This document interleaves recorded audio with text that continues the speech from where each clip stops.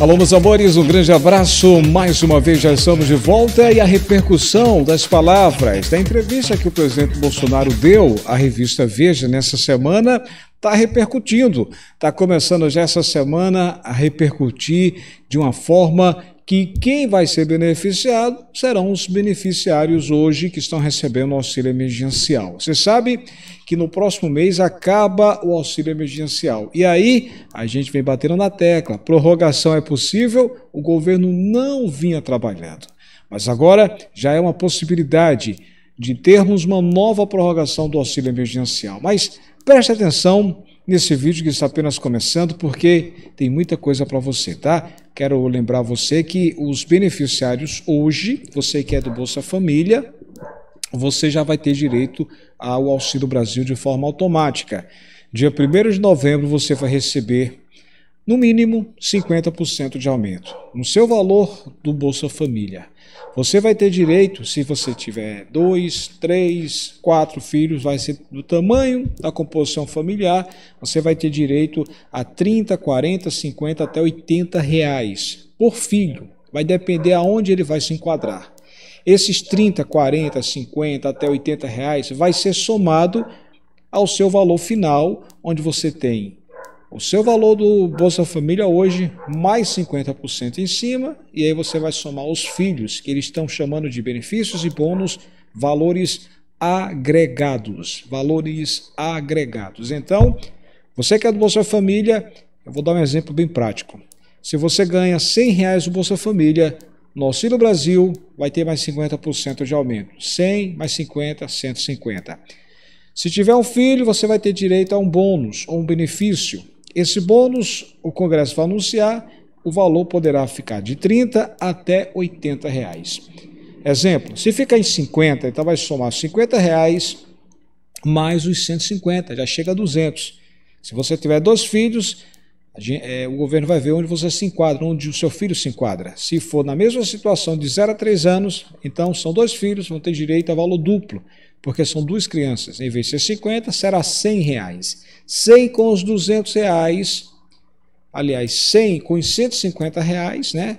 Porque é 100 do valor do Bolsa Família, mais 50%, 150, mais dois filhos, cada um tendo direito a 50, 50, 100 com 150 já vai para 250. E assim vai aumentando. Eles chamam de benefícios agregados. Benefícios agregados, tá? Todos os Bolsa Família terão direito. 17 milhões e meio, porque vai ser feita uma seleção de 2 milhões e meio de novos beneficiários. 25 milhões de pessoas ficaram de fora, lamentavelmente, a partir de novembro mas o governo já está estudando e deve anunciar no próximo mês, mês de outubro, talvez no final do mês de outubro, uma nova prorrogação. Isso é possível ou não? Hoje, o governo não quer falar em prorrogação. O governo está aguardando os números da pandemia, saber se a imunização, se vai conseguir atingir aquela meta de 60% a 70% de toda a população. Então, tudo isso está sendo estudado, tá? Bora trabalhar?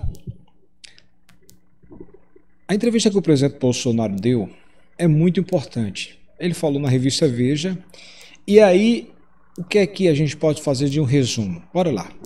Se as eleições presidenciais fossem hoje, você já tem o seu candidato? Em quem você votaria? Você votaria na reeleição do presidente Bolsonaro? Sim ou não? Você votaria em Lula? Sim ou não? Você votaria em Ciro Gomes? Sim ou não? Você votaria em João Dória? Sim ou não? Qual o candidato em quem você votaria? Ô Alex, por que você está perguntando isso?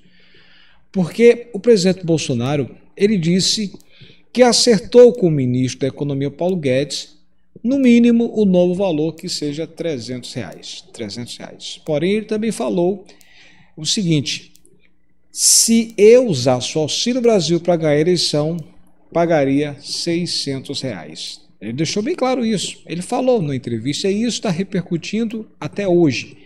Deixa eu mostrar para você aqui, porque isso está repercutindo de uma maneira que muita gente fica perguntando, Alex, quer dizer que o presidente tem esse interesse de fazer isso. Lógico que tem interesse, só que parece que a lei não deixa fazer isso, né? Não deixa.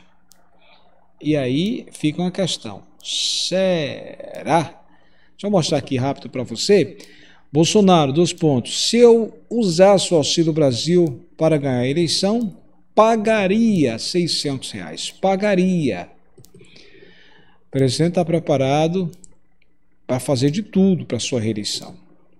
O presidente Bolsonaro ele concedeu entrevista à revista Veja nessa semana, na última quinta-feira, dia 23 de setembro, e confirmou que o Auxílio Brasil, programa que vai substituir o Bolsa Família, vai ter um aumento, e o aumento vai ser no mínimo de 300 reais, valor médio. Ele também disse que o aumento de mais 50%, que vai aí aumentar quem ganha hoje no Bolsa Família e quem vai ser migrado, então, você que ganha hoje um valor X, você vai ter 50% mais o que eu venho falando, bônus e benefícios que serão incrementados no seu valor, que serão agregados. E ele deixou bem claro durante a sua entrevista. A entrevista dele foi longa e está repercutindo até hoje, segunda-feira, dia 27 de setembro. Ele disse: Acertei com o ministro Paulo Guedes um mínimo de 300 reais para o Auxílio Brasil, um programa que, ao contrário dos governos passados, não vai ser usado como curral eleitoral. Curral eleitoral. Curral eleitoral. Estou repetindo isso porque foram palavras dele. Se eu usasse o programa para ganhar, se eu usasse o programa para ganhar a eleição, colocava o valor em 600 reais. 600 reais. Vocês lembram que o ano passado, quando ele deixou o valor em 600 reais e as mães receberam 1.200? Se as eleições fossem o ano passado, 2020, o presidente estaria eleito, teria sido eleito, porque foi o maior índice de popularidade do presidente foi ano passado. Agora, no mês de setembro de 2021, está sendo um dos piores momentos. A rejeição do presidente caiu, é, aumentou muito, está mais de 53%. Popularidade do presidente, o governo volta a trabalhar em cima da sua imagem para tentar voltar aos níveis de 2020. O programa, no entanto, ainda depende da solução com os precatórios, que totalizam mais de 89 bilhões de reais. Para se adequar à lei eleitoral que impede o aumento de programas sociais em ano de eleição, o governo está tentando correr para conseguir lançar esse Auxílio Brasil agora, dia 1 de novembro, e praticamente está bem encaminhado. Está esperando agora a autorização do ministro, ou melhor, da, do Congresso, com aquelas regras. Quando receber as regras prontas, do, dos bônus, dos benefícios, aí o presidente Jair Messias Bolsonaro vai falar o valor real. 300, eu sempre lembro, já é certo, ó, faz meses que eu falo isso. 400 é um sonho que a gente deseja que realize, devido à alta da inflação. O presidente Bolsonaro também aproveitou para criticar o Partido dos Trabalhadores, o ex-presidente Lula, né, ele que, segundo as pesquisas, vem aparecendo à frente, indicando até que poderia ganhar em primeiro turno. Muita gente diz que é pesquisa e cada pesquisa puxa para o seu lado. Bem, eu não estou discutindo pesquisa, estou trazendo só a informação, a notícia. E ele usou o seguinte: ele falou, em outros governos, com uma canetada, fingia-se que estava extinta a pobreza no Brasil. São as hipocrisias. Duvido que o PT se reelegeria com o orçamento que eu tenho. Com toda certeza, eles iriam furar o teto de gastos, apesar da nossa dívida e, do, e, dos nossos problemas, a nossa meta é ter responsabilidade de cumprir o teto de gastos. Lógico, cutucou o presidente Jair Messias Bolsonaro durante a entrevista à revista Veja. Ele falou muitas coisas, falou muitas coisas. A, a entrevista é longa, estou tentando fazer aqui um resumo para você, mas a expectativa está no ar. Presidente Bolsonaro, e agora, inclusive, teve as declarações do é, de um repórter da Globo, né, um, ele, um, esse aqui, ó, o Lauro Jardim, é um jornalista da Globo, muito bem conceituado. Ele falou, inclusive, que a possibilidade de uma nova prorrogação está sendo é, aumentada. A oposição quer, a opinião pública quer, o povo quer, a imprensa quer que haja uma nova prorrogação. Presidente Bolsonaro, inclusive, já estava atentado para isso, já estava pensando nisso. E pode acontecer uma prorrogação? Pode.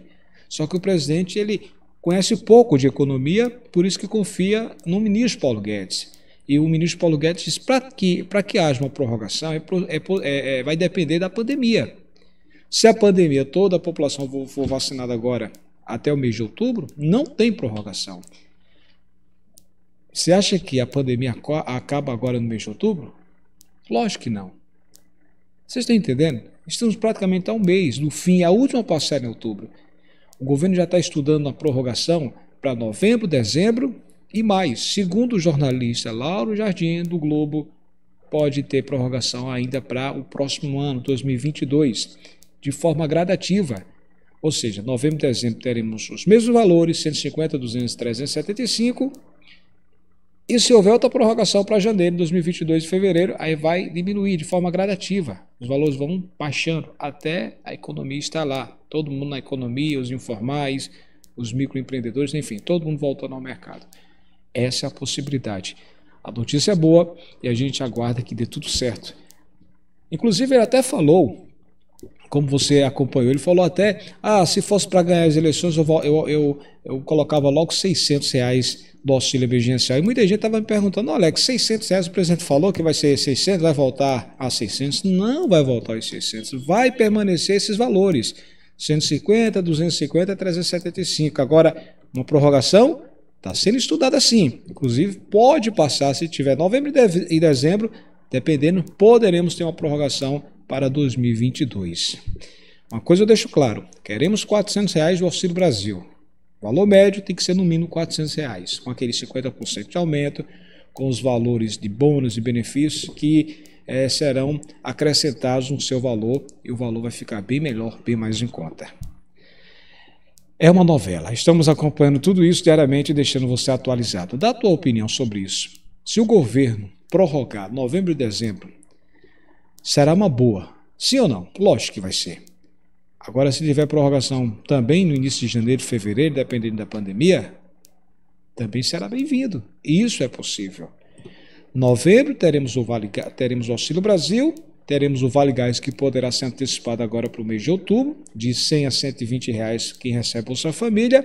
Também no mês de outubro poderemos ter o empréstimo consignado. Aquele empréstimo que a Caixa tem 10 bilhões de reais, empréstimo de 200, 300, 500 até 3 mil reais. Inclusive, esses empréstimos poderão, está sendo debatido que poderá ser uma saída para os 25 milhões de brasileiros que, caso não haja prorrogação em novembro, esse empréstimo consignado poderá ser antecipado, ou seja, pode ser uma solução para essas pessoas que ficarem fora do Auxílio Brasil. Serão 17 milhões e meio de pessoas no Auxílio Brasil, 1 de novembro. Lamentavelmente, 25 milhões de pessoas ficarão de fora. Por isso que a gente quer prorrogação e o governo estuda sobre isso e também antecipar esse empréstimo. Tô lá no Instagram, lá no blog Alex Silva. Quer estar tá na minha lista de amigos? Vai lá. Blog Alex Silva no Instagram. Dá a tua opinião sobre isso. Deve ter prorrogação, né? Deve. E se passar de dezembro, também sim. Está sendo estudado essas possibilidades. Nada está sendo descartado. Até a próxima. Tchau, tchau, pessoal.